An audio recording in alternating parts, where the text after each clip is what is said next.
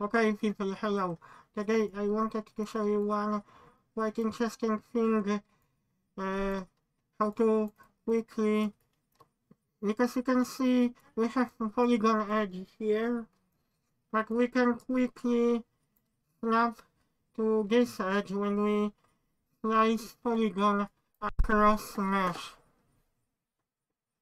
What I want to do is isolate selection so you can focus on what I'm doing. Because we have quick slice, but this tool, when it slices polygon across, this is still not what we want. There's option edge constraint, and you can move this to the end of the mesh, and when you deselect and we, you will use none, you can move uh, slightly this uh, edge, polygon edge. Or you can do the same with this part of the hand. Because this option constraint allows you to slide edge across polygon. But when you deselect, you can still move, but it will preserve, it will preserve ori original shape. Because this shape touches uh, edge of the polygon which is here. But why I deselected? Because I wanted to move like that.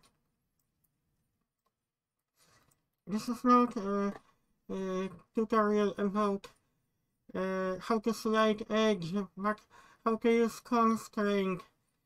Hopefully you will like my video tutorial. Uh, we also have some other options which I didn't use yet and I will scale little bit polygon. Because I'm creating soldier uh, from 1920 this will require lots of work and hopefully I will be able to create exactly as this guy looks.